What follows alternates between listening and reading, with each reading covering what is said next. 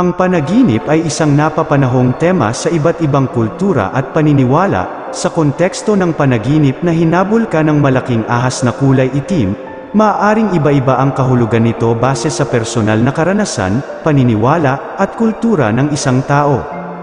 Ngunit sa pangkalahatan, ang mga ahas ay madalas na kumakatawan sa mga bagay na nakakatakot, nakakabahala, o negatibong damdamin, ang pagiging itim naman ay maaaring magdulot ng pagkatakot at pagkakahinayang, at ito'y karaniwang nauugnay sa mga konsepto ng pagkamisteryoso, lihim, o kamatayan.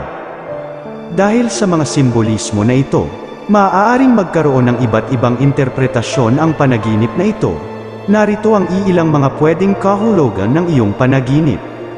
Una, pagsubok o takot sa buhay, maaaring ang malaking ahas ay kumakatawan sa mga pagsubok o takot sa buhay na kinakaharap mo. Ito ay maaaring nagsasalamin sa mga hamon o problema na nagpapahirap sa iyo sa kasalukuyan.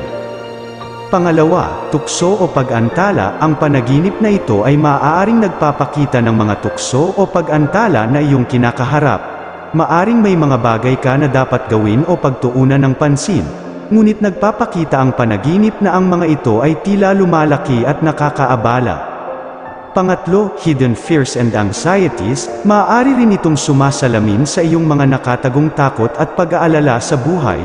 Ang itim na ahas ay maaaring magturo sa mga aspeto ng iyong pagkatao na kailangang harapin at unawain.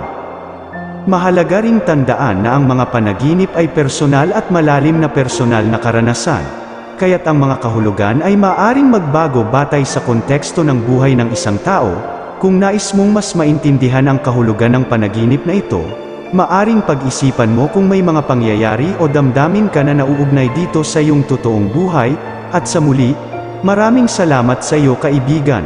Naway nabigyan kita ng kaunting idea sa iyong panaginip magandang araw sa iyo.